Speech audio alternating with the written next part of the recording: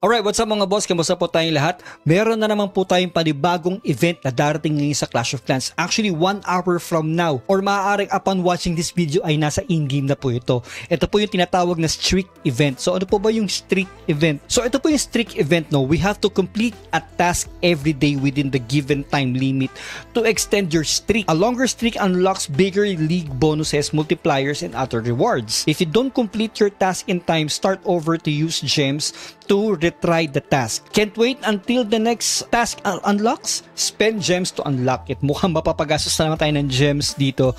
Anyways, so explain ko lang po ito na meron po tayo ditong daily task kailangan natin matapos yung daily task na yon. Kapag hindi natin natapos yung task na yon, ay hindi na natin matatapos yung event unless i-gems natin siya. Okay? So, ganun ulit ha, ulitin ko, meron tayong everyday task dito na gagawin. Sasabihin dito ko yung kailangan ninyong gawin, no?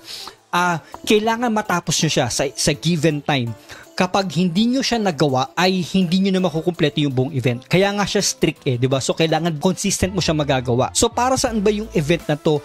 Ito is para mapilitan or ma-convince yung players to play Clash of Clans more. Kaya siguro medyo disadvantageous to sa mga players na masyado maraming accounts kasi talagang mahirap ito. Let's see kung ano ba yung mga tasks na papagawa sa atin dito. So yung first task natin, so ito po ay 7 days lang naman no. 7 days na task naman po. Ang maganda dito ay meron siya mga additional percentage sa ating pong league loot bonus. So kung kayo po yung nasa Legend League, meron dagdag 10%, 10%, 15%, 15%. So pataas sa pataas talaga yung mga dadagdag dito. Mas lalaki yung loots natin. Maganda ito kasi very timely ito. Kasi nga, meron tayong bagong update ngayon. So kailangan natin mag-upgrade. So kailangan natin ng more loots talaga dito. Kaya maganda maganda at saktong-sakto yung streak event talaga dito. At sa dulo, makakakuha pa tayo dito na shiny ore na sana glowy ore na lang. O kaya sana lahat ng ores. Pero sige, yan ang binigay nila sa atin at yung pong first task natin dito is kailangan tayo maka 2 star with a, with a 60%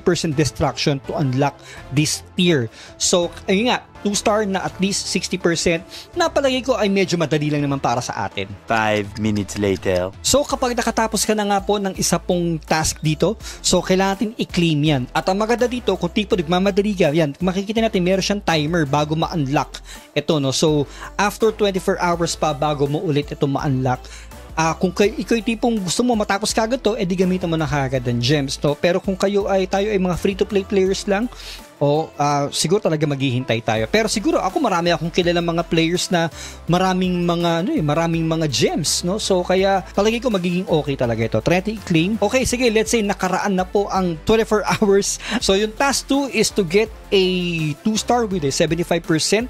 So palagi ko kayang-kaya naman natin 'yan. So ayan na nga, so another strict bonus Try natin siyang i-gems naman for a 98. Ganun pa rin. So, tatapusin natin yung task 3.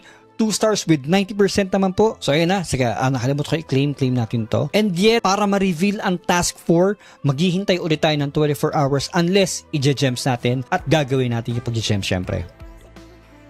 At yan, kailangan natin maka 2 star with the 95% na destruction na palagi kong kayang-kaya pa rin naman natin yan, di ba? So, claim na natin yon Ganun pa rin, gems natin, pero kung willing kayo maghintay, hintay na lang po tayo. Napalagay ko, mas okay na maghintay na lang uh, kesa naman to spend 98 gems na yan, no?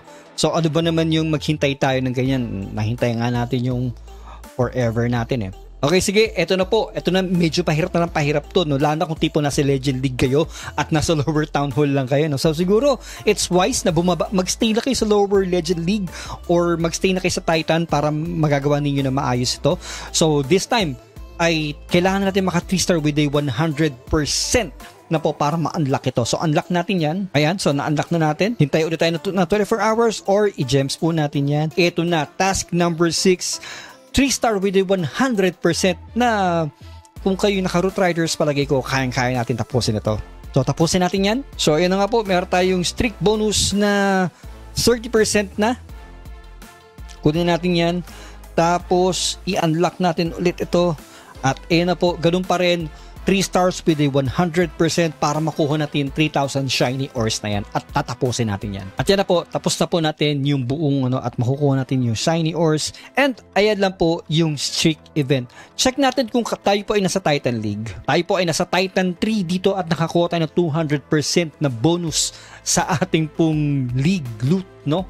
Kaya talagang okay to na mas makaka-farm tayo ng maigi. So it's ideal na maka 70% pataas tayo palagi sa ating attacks para makuha natin talaga yung pong mga bonuses na ganyan kataas. Okay, sige, for the sake of this video na lang, wala kasi ako makitang Town Halls 16 dito. Anyway, so Town Hall 15 na i-attack natin kasi nga a developer build na tong aking ginagamit. So, subukan natin ito. Uh, naka-fireball ako dito kay Warden. Tapos, gamit ko po yung bagong pet at tignan natin kung kaya natin pasabugin dito yung eagle kung kaya. Pero feel ko hindi. Pero try natin. Okay natin yung healers. Tapos i-earthquake natin to. Natin kung kakayanin ni Grand Warden. Tayo natin. Nare-repair na okay kinaya lagyan natin si King dito yung ating, ating flame flinger here. Mamatay yata si ano. Natin to. Root Riders. Nice Golem. Valkyries. Natin to. Freeze muna natin. Mag Yon. Okay, nakasurvive pa naman si si Grand Warden. Hindi talaga ako sanay na naka-single ano? Single bar. anyway, sige. Hindi ko lang na-set kasi. So, rage pa rin natin to. Ngayon si RC to kasama ni King. Heal natin sila.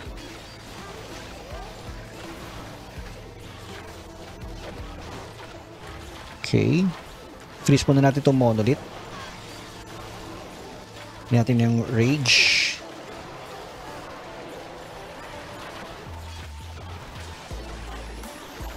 Okay. Queen.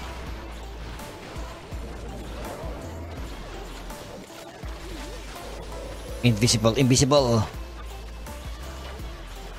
King's ability.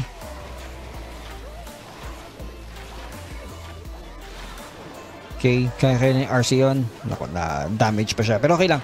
Okay na yan. So, tingnan natin kung gano'ng kataas yung loot na makukuha dito. So, pa- para makuha natin yung yung star loot bonus, ito to, yan yung bonus. So, yan. So, 200% na nga to. So, plus 640. Around mga ano dapat to, di ba? Mga 300 plus lang. So, ngayon, dahil nga nakumpleto na natin streak event, naging 640 po ito. So, nakaloot tayo dito ng 2 million mahigit no dahil po kasama po yung sa bonus na yan. So, ito po ay sa ano pa lang ha, sa Titan 1 pa lang ito. Paano kaya kung nasa Legend League pa to? Unfortunately, hindi ko mate-testing yung Legend League dito sa sa sa developer build. So, tignan lang natin to in-game kapag lumabas na. Lalabas na to maya-maya lamang. Shoutout pala kay Sir Moose. Si Sir Moose pala inatake ko dito. Hindi ko napansin. Pero ayun nga po, yung pong streak event. So, ayan na nga po yung streak event. Hindi siya ganun ka sobrang exciting. Pero at least, meron tayong something fun to do every day. At yun nga siguro medyo mahirap ito sa mga uh, maraming accounts. Pero lalabas po ito sa from Town Hall 6 and above yata if, if I'm not mistaken. So even Town Hall 6 ay mag, makakapag-enjoy dito sa streak event. Uh, ang dapat natin tandaan dito ay kapag nakapag-miss tayo ng isa at wal at hindi natin to GNMs, hindi natin matatapos yung event. So it is very important na magawa natin to araw-araw talaga. Meron namang countdown kaya alam niyo kung kailan kayo a-attack dito. Siguro uh, dahil nga alam na natin na may countdown ito, um, mag-start kayo ng atake sa convenient time ninyo. Di ba? For example, kung gabi lang kayo a-atake, uh, sa gabi na lang ninyo umpisahan yung event para tuwing gabi na kayo a-attack no? Uh, araw-araw. Kasi alam ko dito kapag for example umatake ka ngayon ng 9 PM uh, hindi ako sure dito ah. For example umatake ng 9 PM ngayon. Tapos uh, natapos mo yung task yung yung task 1 for example. Tapos tapos umatak ka after mga 26 hours. So pag natapos mo yung attack mo doon pala magka-count ulit yung 24 hours. So, mas magandang umatak ka talaga dito doon sa pinaka-convenient time mo. Yung talaga sigurado ka makaka-attack ka para palaging doon ka attack. Kaya, yun. So, siguro a little tip lang po yun talaga. Kaya, I hope you enjoy this video mga boss at ako ay medyo excited lang sa, sa event na to kasi sana much sana mas better pa yung reward. Pero nakakatuwa na merong gantong something new sa Clash of Clans. Maraming salamat mga boss. Kung kayo po hindi pa naka-follow sa ating Facebook Gaming or hindi pa naka-subscribe sa ating YouTube channel at sa ating pong Twitch, please don't forget and of course, Don't forget to use my creator code LASER sa any in-game purchases ninyo.